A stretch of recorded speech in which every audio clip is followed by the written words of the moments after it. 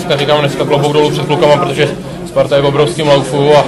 obrana, obrana zahrála výborně, říkám, až na, až na dvě šance nic, nic nepustili, takže, takže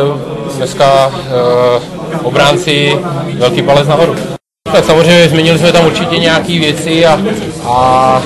jako, jako, jako, vždycky, když přijde nový trenér, tak nový impuls pro všechny hráče a, a myslím si, že dneska to i takhle bylo vidět a, a bylo, bylo to ta, tam to srdce, ta bojovnost a myslím si, že i diváci nám zatleskali, takže můžeme být všichni spokojení. Byl jsem celý, celý týden jsem se na to připravoval a věděl jsem, že, že Sparta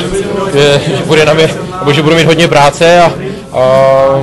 až na ten gol si myslím, že jsem to zvládl.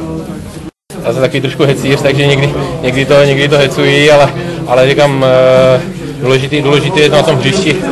Ono, my si můžeme hecovat jak v minulosti v kabině a, a na tréninkoch, ale, ale prostě nejdůležitější na tom je to hřišti, tam, tam, tam leží ta pravda a, a říkám, dneska, dneska byl tam, byl tam obrovský srdce, Sparta samozřejmě, ta kvalita je tam vyšší než na naší straně, ale a srdce dneska tam bylo na naší straně. Se Spartou 1-1, tuším, že jenom dva manšafty před námi to dokázali a takže to je obrovský, obrovský impuls a teďka je tuším repre pauza, tak, tak se nachystáme a nálada bude výborná a jdeme zvládnout uh, poslední dva zápasy.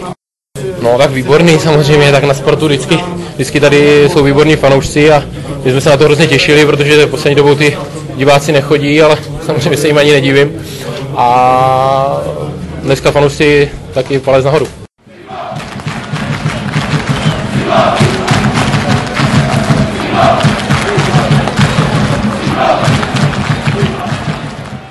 No jsme blbci, že jsme nevyhráli, o, jako musíme uznat, že Sparta byla výborná, je to kvalitní soupeř, výborný na míči, to říkám, to se ukázalo první půlce, kdy nám asi 15 minut tam ne, po golu nepůjčili balon,